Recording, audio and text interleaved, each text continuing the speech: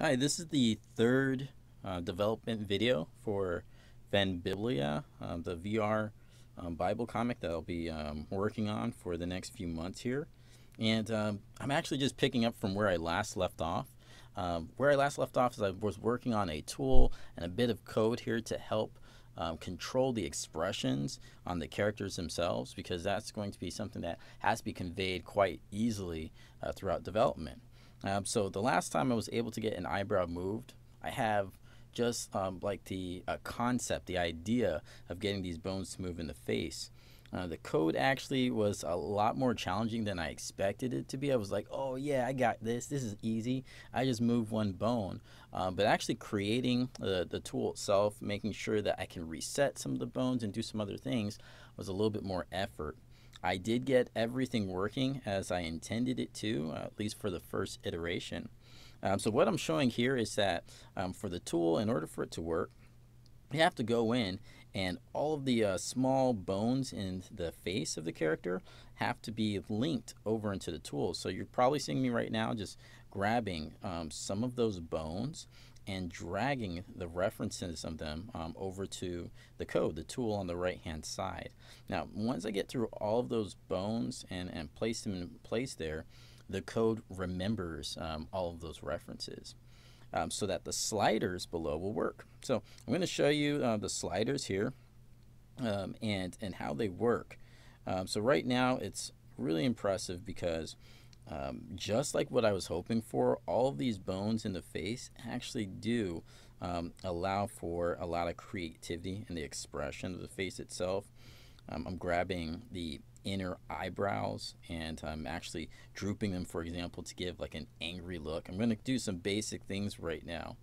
Um, and I can create like a, squint. Um, so there's some squint muscles in the face on both the left and right. I can bring some of the uh, the muscles right under the eyelid to kind of gesture a little squint and show a little bit of that that a, a mean sort of look in the face and the eyes. And uh, moving the eyes, the eyes can move, the pupils um, move left and right, up and down. There's a control for everything. I hope I can organize this a little bit better so I can pinpoint which muscle I want to use, but everything for now is flawless, is just as I would want it. Um, so you see I got kind of like a mean look. And it actually doesn't take too much to um, express an emotion. Um, and a complex emotion because there's about three different muscle points or three different bones in the eyebrow, it really allows for um, a lot of control uh, instead of just putting the eyebrow up or down. Um, so I brightened up the scene here um, so that you can see what's going on. Um, but um, I'm going to go ahead. Let's go from that expression. I'm going to reset all the bones. And this also took some time. Can reset it right to its default. And I'm going to try to go for a happy gesture really quick.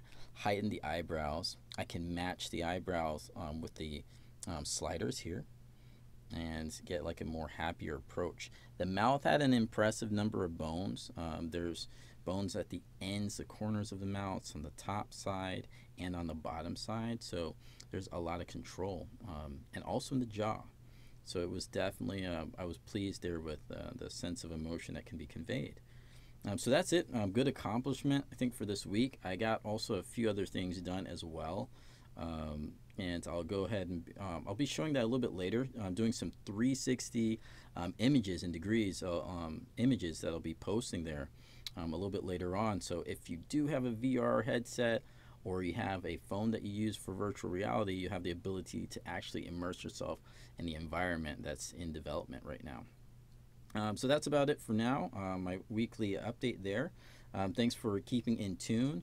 Um, definitely want to say, you know, um, go ahead and uh, feel free to follow the, the page or my personal page, the YouTube, the Twitter. I'll, I'll be picking up the pace a lot more now for development work, and I got some larger news planned on in the future. So thank you again for keeping up, and um, until next week or my next post.